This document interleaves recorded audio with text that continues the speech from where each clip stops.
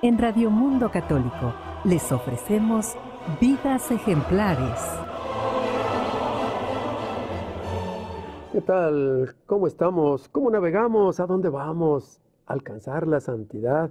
¿A vivir nuestra condición de bautizado, evangelizando a la primera persona que esté a tu lado? Y hoy vamos a recordar a Santa Cita, Cita con Z, es un nombre toscano que significa muchacha, es patrona de la servidumbre.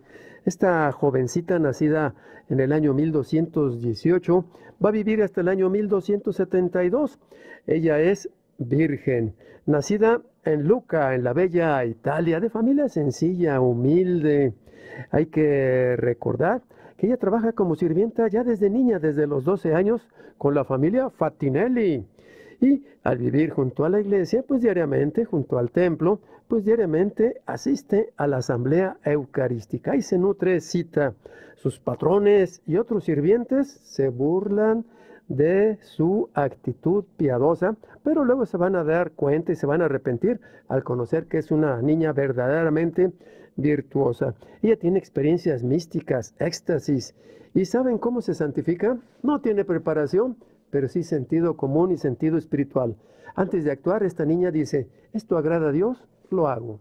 Esto no agrada a Dios, no lo hago. Así se santifica Santa Cita, patrona de la servidumbre, que muere con fama de santidad, y sus imágenes son con ropa sencilla, su delantal, una escoba o una jarra, y es patrona, como digo, de las trabajadoras domésticas. La vida de Santa Cita. Y tenemos otra santa también a recordar en este día, es la Santa María Guadalupe García Zavala. ¿No le suena muy familiar? Santa mexicana. Hay que recordar que María significa señora, princesa, eh, recordando a la Virgen eh, María. Y Guadalupe es un nombre náhuatl de Cuatlaxopeu, que significa la que pisotea a la serpiente, la que vence el mal. El ciclo vital de la Santa María Guadalupe García Zavala nace en 1878 y Dios lo llama la vida eterna, la llama en el año 1963. Ella es cofundadora y tiene su autobiografía, la Madre Lupita, eh, como la llaman los enfermos con cariño, nos dice, el primer regalo que me hizo Dios fue el hacerme nacer en una familia de buenos católicos. Es oriunda de Zapopan, Jalisco, nace enfrente de la basílica, antes había portales, su papá tenía allí una tienda, así que vive en, esa casa frente, tiene de vecina nada más y nada menos que a nuestra generala, la Virgen de Zapopan. Estas fincas fueron demolidas en el año 1940, entonces nace frente a la basílica de Nuestra Señora de Zapopan y sus padres son Doña Refugio y Don Fortino, ya muy pequeñita, Lupita, se encuentra orando de continuo en el santuario de la Virgen. Y una anécdota nos dice que de niña, durante la fiesta de la Virgen, ella y su hermanita menor, María, entran al templo de la noche en medio de la algarabía, va a haber castillo y fuegos artificiales, y están rezando tan concentradas ante, ante la imagen de la Virgen de Zapopan, que el sacristán se da cuenta y cierra la puerta. Y las dos niñas están dentro hasta que el llanto de María, la hermana menor, pues hace que la gente oiga que alguien llora y les vuelven a abrir, su mamá les dice, ¿pero qué no les da miedo? No, mamá, dice, estábamos con la Virgen María, pero mi hermanita rompió en llanto. María Guadalupe García Zavala, la santa que recordamos hoy, estudia corte y confección, tiene sus pretendientes y en esa actividad de corte y confección ayuda a la economía del hogar. Joven entusiasta, tiene, eh, como decía, pretendientes, llega a tener novio, pero mejor escoge la vida espiritual, la vida eh, pues de convento, de donde todo mundo está contento, encuentra su vocación.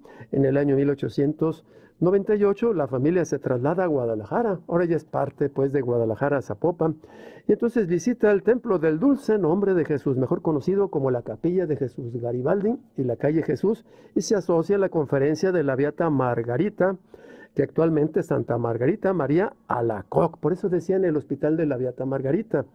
Hoy es Santa Margarita María Alacoc, esa devoción que tenía la mexicana María Guadalupe García Zavala, que se dedica a las obras de misericordia, obras de beneficencia, colabora como auxiliar de enfermería, estudia la obra de la Santa Margarita María de Alacoc, Y entonces ama al Sagrado Corazón de Jesús y lo contempla y lo hace vida en la atención a los enfermos. El padre Cipriano Íñiguez, su guía espiritual, descubre en Guadalupe su carisma de asistencia al necesitado y ayuda a todo marginado. Y entonces, pues se funda ese hospital Garibaldi 880 y me tocó nacer y conocer a la madre Lupita. Yo estaba en secundaria a los 13 años cuando la saludé por última vez en el año 63. Su lema es la caridad hasta el sacrificio y constancia hasta, hasta la muerte. Y tiene una autobiografía, le recomendamos el libro El ángel de los enfermos que venden ahí mismo en el hospital y su obra se extiende así los hospitales en Jalisco, Baja California, Sonora, Colima, Zacatecas, también en Perú, en Grecia, en Roma, en Islandia. Y el Papa Juan Pablo II la beatifica el 25 de abril del año 2004 y entonces eh, es canonizada más adelante por su santidad el Papa Francisco el 12 de mayo del 2013. Una vida ejemplar, digna de imitar. Ella ya está brillando, la madre Lupita García Zavala brilla como estrella por toda la eternidad. Sí, señor. Esto fue Vidas Ejemplares. Gracias por escuchar.